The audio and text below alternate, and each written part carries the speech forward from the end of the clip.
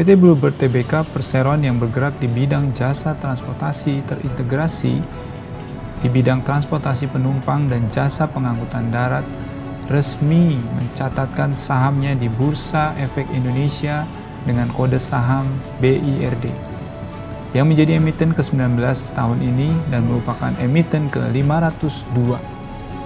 Harga saham yang ditetapkan dalam penawaran umum sebesar Rp6.500 per lembar sahamnya dengan jumlah saham yang ditawarkan ke publik sebanyak 376,5 juta saham.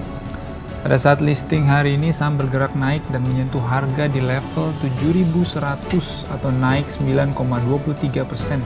Sementara level terendah sempat menyentuh 6.900 rupiah per lembar saham dan nilai saham tertinggi 7.200 per lembar saham.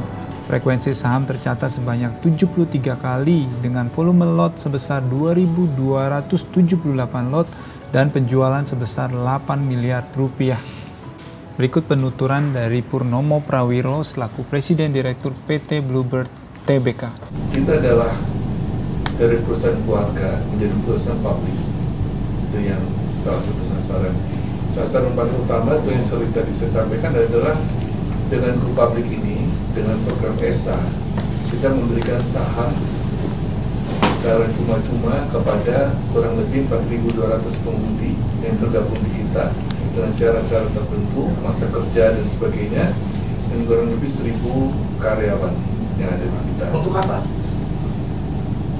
Karena kita selalu menyatakan, kalau saya selalu menyatakan selama beberapa lama ini harus bekerja dan harus ada persen sense of belonging sekarang enggak mulai hari ini saya akan katakan the company belongs to you.